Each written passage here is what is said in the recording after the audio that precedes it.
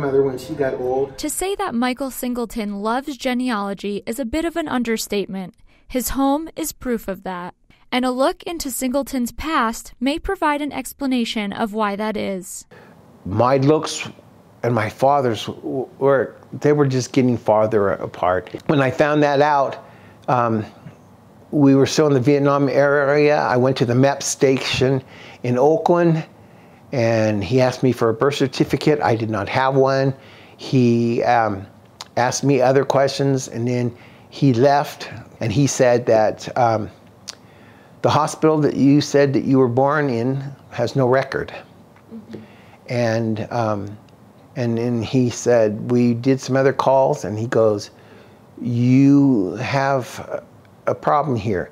Um, you're illegitimate or you're adopted. At 19, Singleton learned that while his mother was his biological parent, he had been adopted by the father who raised him. His biological father's name had been crossed off his birth certificate, when he told his parents what he learned, Singleton said his mother didn't want to talk about it. He said telling his brothers was a very emotional experience. I got shut down from my mother and I just kept it inside me. And I brought it up and I said, I should have told you this, but um, you guys are my stepbrothers. You're not my full brothers. And oh, that freaked him out. I didn't know what to do. They got emotional. All of a sudden, what? You're my older brother, and now you've just taken half of that away? It wasn't until after his mother's death that Singleton said he found clues to the identity of his biological father.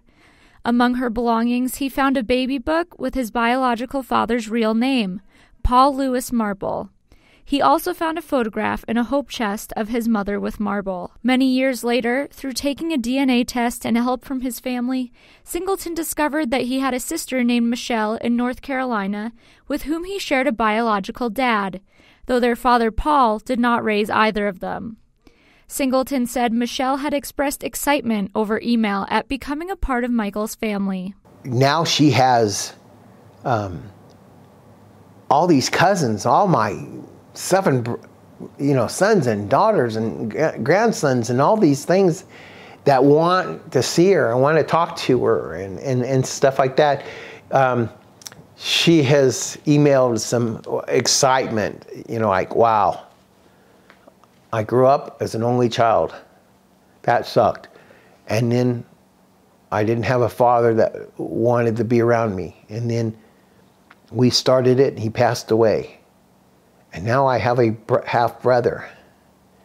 Life's changing. Since discovering that he had a sister, Singleton said he has yet to meet Michelle in person. Singleton's daughter recently set up a GoFundMe page to fund a meeting between the two. Please find the link in the web story below. Singleton said a message that he would like to share is this If you're adopted, if you have a chance to do a DNA kit, it's going to start your journey, and then you'll you'll just be able to say, I, I was adopted. Uh, I'm no longer. I'm uh, part of somebody's family. Kaylee DeWitt, ABC4.com.